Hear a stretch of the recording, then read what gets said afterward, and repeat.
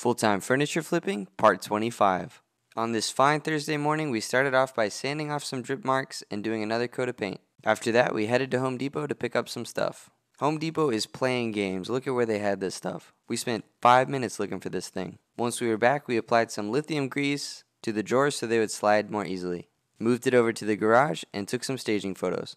While my wife was taking photos, I was back at the garage doing a coat of poly. We tried out that Brasso stuff we bought on the handles and didn't really like it, so we're just going to paint them. We're using the color Pure Gold by Rust-Oleum. Last coat of poly, we're basically done with this entire bedroom set.